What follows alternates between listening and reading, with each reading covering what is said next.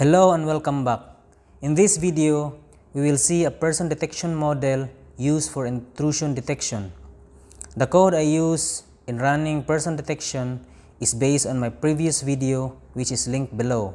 Next week, we will add a code for voice alert feature in this intrusion and detection system. Together, we will implement the code. If you like my work, don't forget to thumbs up and subscribe. See you in the next video. Thank you. Intruder detected. Intruder detected. Intruder detected. Intruder detected. Intruder detected.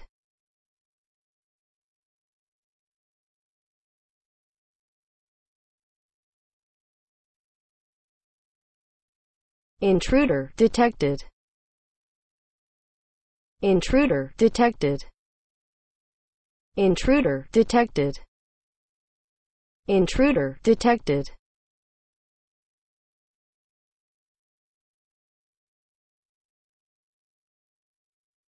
Intruder detected. Intruder detected. Intruder detected.